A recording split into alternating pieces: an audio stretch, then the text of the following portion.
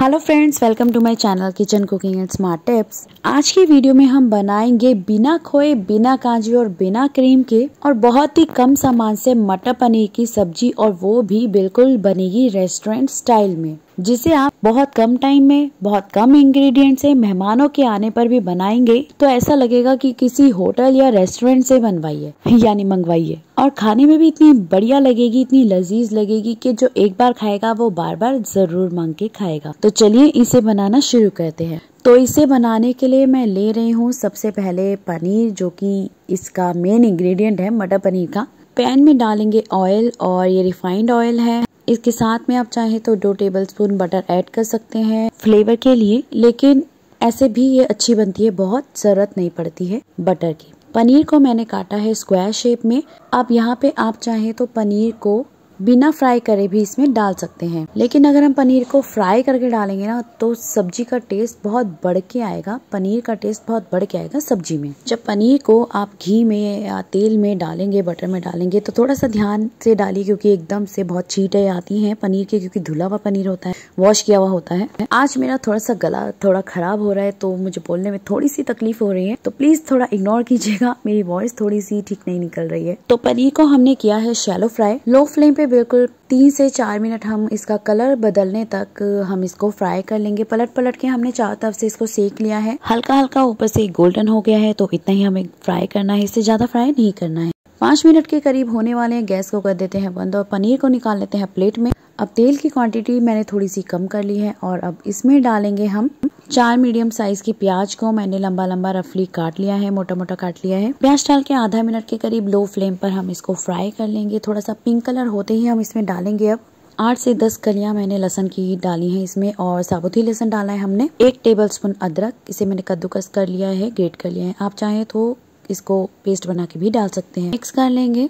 दो हरी मिर्च डाल रही हूँ, कट करके। इसका टॉप और बॉटम मैंने कट करके इसमें डाला है और सारी चीज़ें अच्छे से मिक्स करके, ढक करके हम 10 मिनट के लिए बिल्कुल लो फ्लेम पे इसको पकने देंगे सॉफ्ट होने तक। अगर आप इसमें काजू ऐड करना चाहते हैं तो आप इस टाइम पे इसमें काजू डाल सकते हैं। लेकिन इस सब्ज़ी में, मटर पनीर में जितने कम इंग्रेडिएंट्स हो, उतना ही इसका टेस्ट ज़्यादा बढ़ के आता है। क्योंकि हर सब्ज़ी का एक अलग फ्लेवर आता है तो इसका भी एक अलग, एक टेस्ट होता है। तो इसमें ज़्यादा इंग्रेडिएंट्स की ज़रूरत नहीं पड़ती है तो ढक करके लो फ्लेम पर इसको आठ से 10 मिनट तक कुक होने देंगे। 10 मिनट के करीब हो गए हैं तो देखिए चेक कर लेते हैं। प्याज, लहसन और अदरक वगैरह अच्छे से सॉफ्ट हो गए हैं। मिक्सी के जार में इनको निकाल लेते हैं और इनका बनाना है हम एक पेस्ट अब इसी कढ़ाई में मैं डाल रही हूँ दो टेबल स्पून के करीब तेल। रिफाइंड ऑयल डाल रही हूँ। एक तेज पत्ता डालेंगे। एक टीस्पून जीरा। एक मोटी इलायची। इन्हें अच्छे से पका लेंगे यहाँ पे। अब डालेंगे यहाँ पे मसाले, उससे क्या होगा कि मसाले पक जाएँगे और उनका कलर भी बहुत अच्छा आएगा। सबसे पहले डाल रहे हैं एक टेबल स्पून लाल मिर्च पाउडर, ये कश्मीरी लाल मिर्च है। डेढ़ टेबल स्पून धनिया पाउडर। जब मसाले डाल रहे हो तो या तो गैस बंद कर दीजिए या फिर बिल्कुल लो फ्लेम पे कर दीजिए, नहीं तो मसाले जल सकते हैं। अब डालेंगे आधा टेबल स्पून हल्दी पाउडर। हल्दी पाउडर और धनिया आप बाद में भी डाल सकते हैं जब हम मसाला पका चुके होंगे। उससे क्या होगा कि हल्दी का कलर ज़्यादा नहीं आएगा, लेकिन अगर आपको ज़्यादा हल्दी का कलर चाहिए तो आप पहले डाल दीजिए मसालों में, मसालों के साथ। तो मसाले हमने मिक्स करके कुछ सेकंड्स भून लिया है। अब डालेंगे जो हमने पेस्ट बना के रखा है। प्याज, लहसुन, अदरक का तो इसको डाल के हम मसाले के साथ फ्राई कर लेंगे, भून लेंगे अच्छे से। लो फ्लेम पे तब तक इसको फ्राई करेंगे। जब तक इसमें से तेल रिलीज़ ना हो जाए और ये पक जाएँगे अच्छे से मसालों के साथ। साइड्स पे देखिए, इसमें से थोड़ा थोड़ा तेल रिलीज़ भी होने लगा है। अब इसमें डालेंगे थोड़ा सा पानी तो मैंने मिक्सी के जार में ही घुमा के इसमें पानी डाल दिया है। ऑयल रिलीज़ होने तक हम इसको ढक करके कुक कर लेंगे लो फ्लेम पर सात से आठ मिनट के लिए। अब इतने में जो मटर हमने इसमें डालनी है, वो मैं ले रही हूँ एक कटोरी मटर और उसको हम करेंगे पाँच मिनट के लिए boil one four tablespoon नमक डाल के, नमक को मैंने हाई फ्लेम पे पाँच से सात मिनट के लिए बॉईल कर लिया है ताकि वो सॉफ्ट हो जाए। ये फ्रेश मटर है, इसलिए मैं इसे बॉईल कर रही हूँ। अगर आप फ्रोजन मटर ले रहे हैं तो आपको बॉईल करने की भी कोई ज़रूरत नहीं है। आप उसे ऐसे ही यूज़ कर सकते हैं। बॉईल करने से क्या होता है कि जो मटर श्रिंक होती है, जब हम पहले अगर भूनेंगे तो बॉईल करने से वो श्रिंक नहीं होती है। खिली खिली रहती है और कच्ची भी नहीं रहती।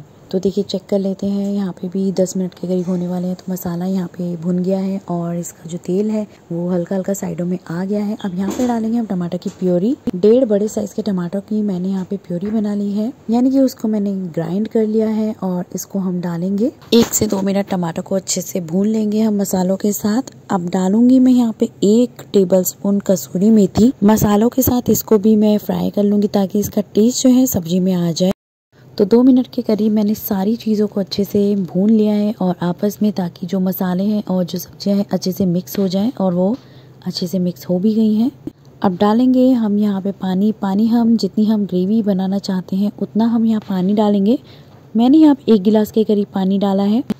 तो पानी हम ग्रेवी के अकॉर्डिंग डाल रहे हैं तो मैं यहाँ इतना पानी डाल रही हूँ। आप ज़्यादा ग्रेवी बनाना चाहते हैं तो आप ज़्यादा पानी डाल सकते हैं।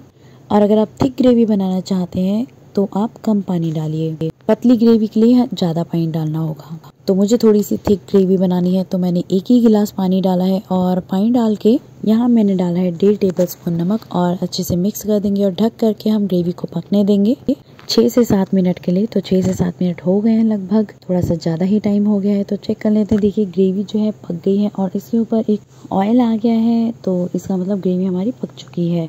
अब इसके अंदर हम डालेंगे पनीर को जो हमने फ्राई किया हुआ है, पनीर के पीसेस को डाल करके।